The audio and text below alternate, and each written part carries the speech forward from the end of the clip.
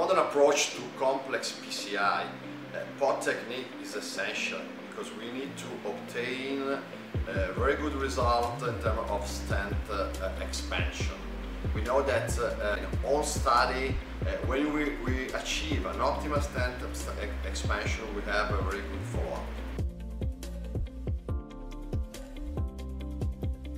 To perform a perfect POT, we need high precision and no balloon shoulders. A too proximal position of the balloon will lead to incomplete expansion of the uh, polygon of confluence. A too distal position will cause the carina shift into the side branch and overstretching of the distal main vessel. Finally, the POT should extend proximally to uh, avoid bottleneck deformation uh, of the proximal stem edge. A perfect balloon for POT will have three features. One, minimal or no compliance, achieving high pressure and full stent expansion even with two stent layers without overstretching the stent.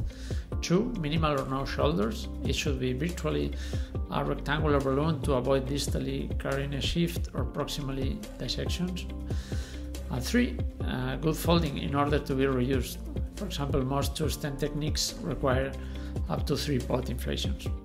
BrosMed uh, POT dedicated balloon is the first balloon, to the best of, of my knowledge, that was designed specifically for this task. And it performs beautifully having in mind the three aforementioned features low compliance, minimal shoulders, and good refolding.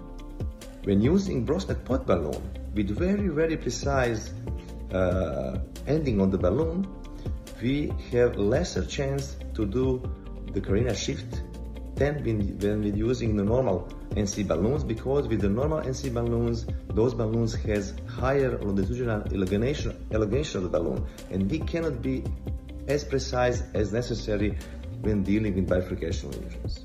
The POT technique is widely used in bifurcation lesions and uh, when we have uh, actually put in a stent implanted a stent and that is sized mainly based on the distal main vessel, the proximal end is actually floating.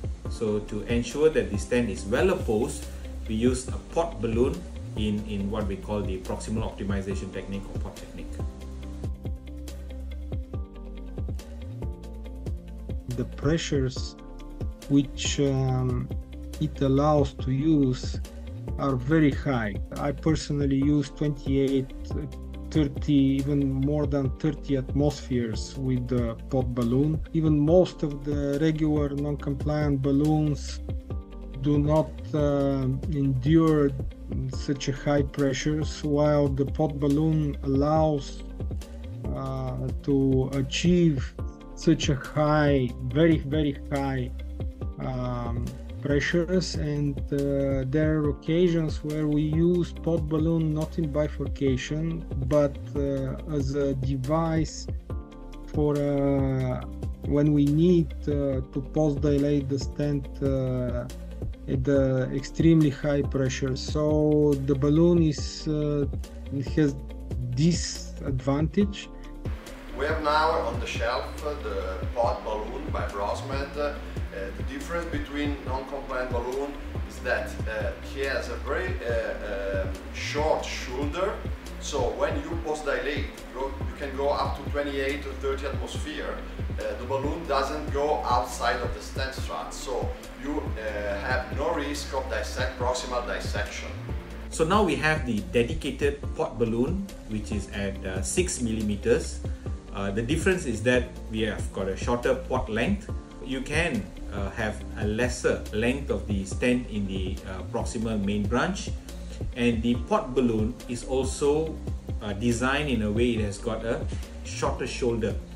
So there's very little uh, material of the balloon which is actually outside the stented segment.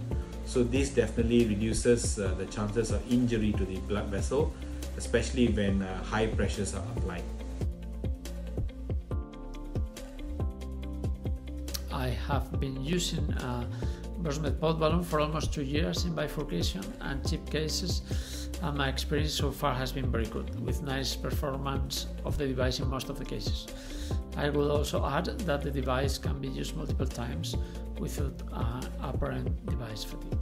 When you use uh, in a consequent uh, inflations, for example, if you do pot, side branch pot technique or our modification with the pot and uh, pot combined with kissing, what we call POKI technique, um, there is no change in uh, balloon compliance, which usually occurs with uh, another balloons so you can inflate uh, the balloon several times in several sessions during the PCI and uh, the compliance is uh, the compliance of the balloon is uh, completely preserved. We at University Hospital Center Zagreb in Croatia has very good experience with BrosMed POT balloon. We have used so far more than 65 balloons in the last six months period, not only for the bifurcation lesions.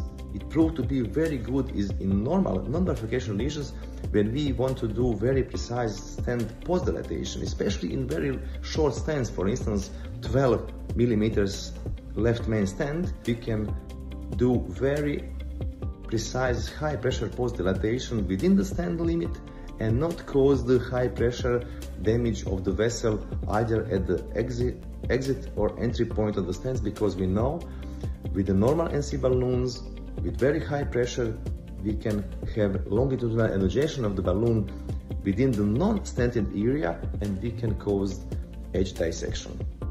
So it is in my practice that I use the POT balloon uh, in most situations for various reasons. Number one, it is an NC balloon. You can go at high pressures.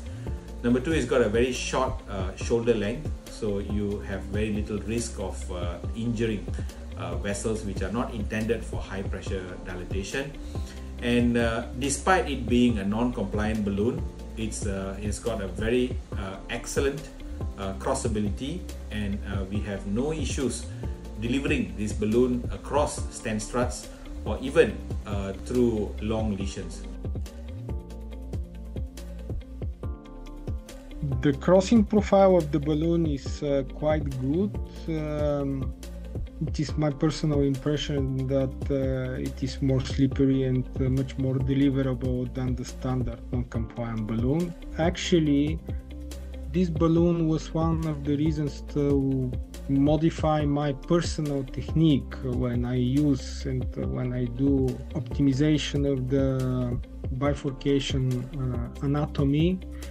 We have a quite a good experience with the uh, POT balloons for bifurcations and uh, as I said not only for bifurcations because the balloon fits well also for uh, non-dilatable uh, coronary lesions.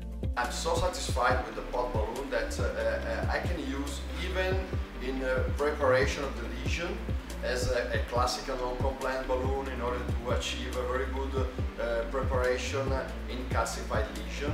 Uh, the crossability is great and so I can use even prior to stent implantation and as a classical POT technique. So with the usage of a, a, a POT balloon, I can minimize the length of my proximal end of the stent Number two, the markers of the, the POT balloon are also excellent. So it's not difficult to place the balloon at exactly where you want to locate it. If you are doing a, a, a proximal optimization of the left main, uh, especially in a two stent strategy or even a provisional stenting strategy, you can place the, the, the balloon at exactly the point that you want to because of the excellent visibility of the balloon markers.